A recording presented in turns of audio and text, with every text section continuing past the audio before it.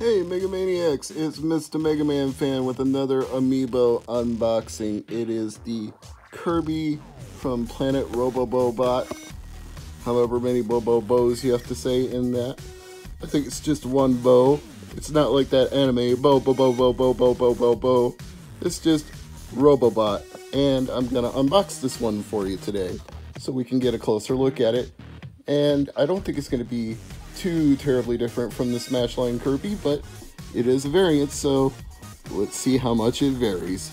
As always, thank you to my 810 plus subscribers, to Mr. Mega Man fan. If you're not one of those, you can always join the fun by clicking that subscribe link. And if you don't want to miss anything new, hit that bell for notifications and you'll see whenever I get something new and put it up on the channel.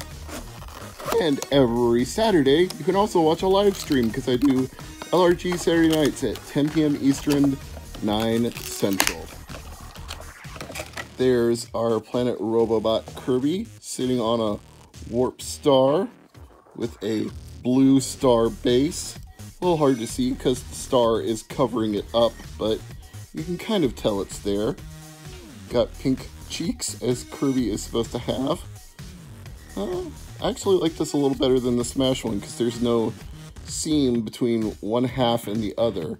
It's just a complete round pink puffball. I think Happily Candied would approve of this one as well. All amiibos are made in China, but this one also carries the HAL Laboratory signature because of the Kirby game series. So, there's not a lot of details to Kirby.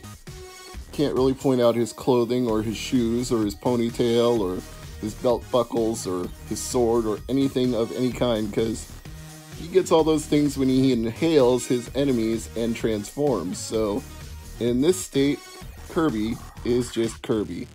But I like him. Don't you?